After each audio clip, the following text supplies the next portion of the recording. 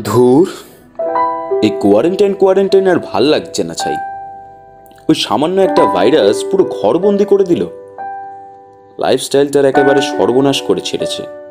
তবে তবে কথায় আছে, প্রতিটা খারাপের একটা ভালো দিক থাকে। কথাটা একেবারে মন্দ নয়। এই যেমন এই আমার গিটারটা, একেবারে যেন ভুলিয়ে গিয়েছিলাম এটার কথা। ক্লাস টেনে থাকতে যেন প্রাণ হয়ে উঠেছিল এটা। তারপর তারপর পড়াশোনার চাপে সেই যে ছাড়লাম, আর ধরাই হলো না। এখন এই সুরের টুংটাংগুলো কি সুর কিনা দিচ্ছে মনে। ভাগ্যিস ভাগ্যিস কোয়ারেন্টাইনটা হলো, না হলে না হলে নিজেকেই যে ভুলেই যাচ্ছিলাম দিন দিন। আচ্ছা শুধুই কি আমার? আরও অনেকেরই এই একই অবস্থা। যেমন ধরো, আমার বোন। কতদিন হলো ওর সাথে ঠিক করে গল্প করা হয়নি। আহা, কি সুন্দর গানের গলা ওর। আগে কোনোদিনও শুনিনি ওর গান। কদিন আগে থেকে একটু যত্ন নিলে হয়তো পেশাদার গায়িকা হতে পারত। কিংবা হয়তো এখনও সময় আছে। একটু একটু খেয়াল করতে হবে শুধু। পড়াশোনার চাপ কমে যাওয়ায় ও নিজেই দেখছি তিনবেলা রেওয়াজ করছে। বড় লক্ষ্মী মেয়েও। আচ্ছা এ তো গেল আমার বোনের কথা।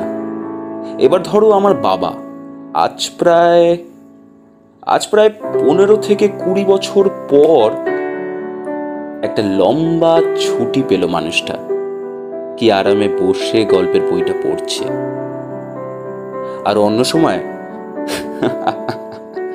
অন্য সময় খবরের কাগজের প্রথম পাতাটাও পুরো পড়ে ওঠা হতো না ওনার। কোয়ারেন্টাইনটা না থাকলে বাবা জানতই না যে আমি সজনে ডাটা খেতে ভালোবাসি না। মা যে সারাদিন কি কাজ করে তাও হয়তো জানতে পারতো না বাবা।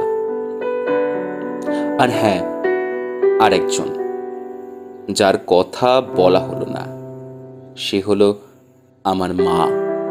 মজার কথা, মায়ের কোনো লকডাউন নেই। উল্টে আমরা বাড়ি থাকায় কাজ অনেক অনেক গুণ বেড়ে গেছে। কিন্তু কিন্তু দেখে অবাক হই যে কোনো অভিযোগ ছাড়াই সারাটা দিন সব কাজ করে যাচ্ছে হাসি মুখে। মাকে আর অফিস ঘর দুটো একসাথে সামলাতে হচ্ছে না। আমি আর বাবা ঠিক আছে কিনা, খেয়েছে কিনা, সেসব চিন্তা নেই। কাছেই তো আছি সবাই। মায়ের মুখে মায়ের মুখে কি সুন্দর একটা হাসি লেগে রয়েছে সারাটা দিন। খুব মিষ্টি লাগছে মাকে। সবাইকে কাছে পেয়ে কাজের ক্ষমতা যেন দ্বিগুণ। বয়স যেন বয়স যেন দশ বছর কমে গেছে।